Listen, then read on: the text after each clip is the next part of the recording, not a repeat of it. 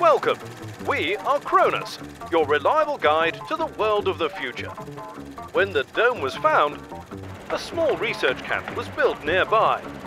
Thanks to the efforts of our brave men, it had soon become a city. But that was only the beginning. Around the aperture at the top of the dome, a transition station was erected, which was called the Spire.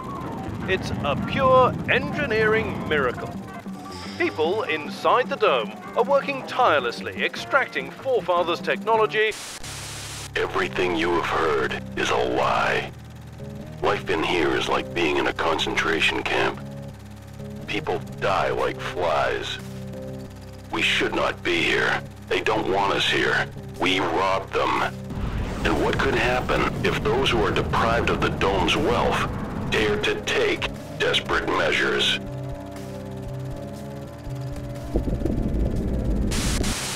And that's all.